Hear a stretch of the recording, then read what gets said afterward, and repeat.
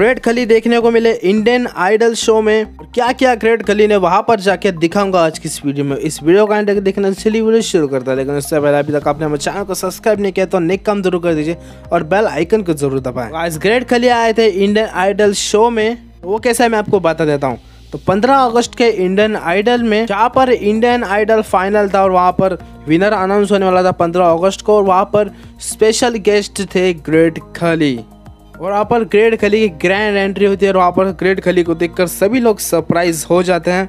और वहाँ पर सभी लोग शॉक हो गए थे ग्रेट खली को देखकर और उन्होंने मोहम्मद दानिश के साथ एक एक मैच भी लड़ा, लेकिन वो डब्ल्यू डब्ल्यू मैच नहीं था।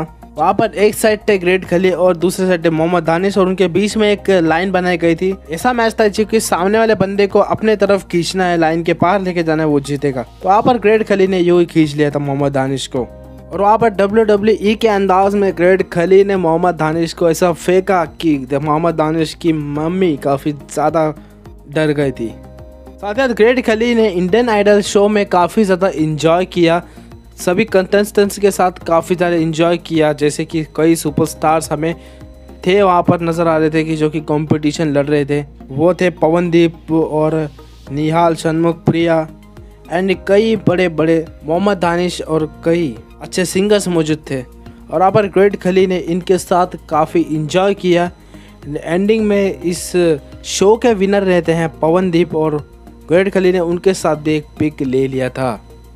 और इंडियन आइडल के बैक स्टेज में वहाँ पर उन्होंने अनु मलिक के साथ भी फ़ोटो खिंचाई थी। ग्रेट खली ने बैक स्टेज इंडियन आइडल के। तो फ्रेंड्स ये वीडियो मैं अभी बना रहा हूँ क्योंकि यहाँ पर समर स्लैम की आपको अपडेट भी देनी थी। उसकी वजह से मैं वीडियो नहीं बना पाया, लेकिन अभी ये वीडियो आपके लिए। है फ्रेंड्स अगर आपको वीडियो पसंद आए तो लाइक करें, बिना तो कहीं मत जाना। साथ तो फ्यूचर में भी ऐसे ही वीडियोज़ आपको देखनी है तो चैनल को फटाफट सब्सक्राइब करके बेल आइकन को दबा दीजिए। भले उसे एक चौक स्लैम लगाए यार पंजाबी प्लस लेकिन क्लिक हो जाना चाहिए। और साथ शायद इंस्टाग्राम पर मुझसे बातचीत कर सकते हो। Link in the description box अब तक के लिए इतना है। Good bye take care